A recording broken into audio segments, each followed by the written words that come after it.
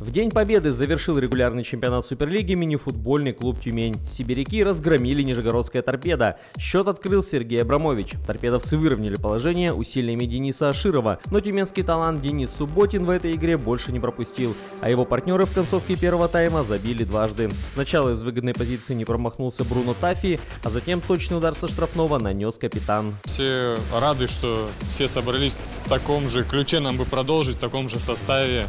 Видно, что нашли, например, оптимальные четверки, взаимопонимание возвращается удовольствие начинаем получать, как прежде. На 29-й минуте Сергей Крыкун заработал опасный штрафной и сам же его реализовал. Торпедовцы перешли на игру в 5 полевых, однако воспользовались этим тюменцы дважды. Победа 6-1.